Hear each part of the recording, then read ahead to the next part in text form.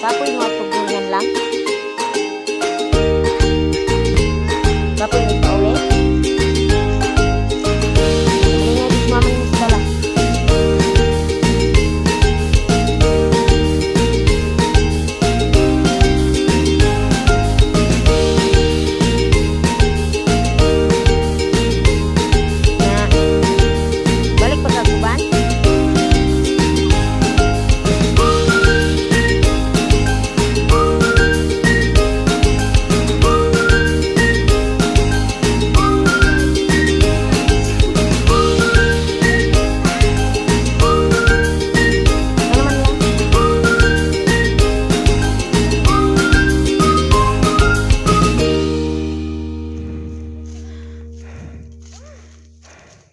Kapoy na mo man gani kay dala.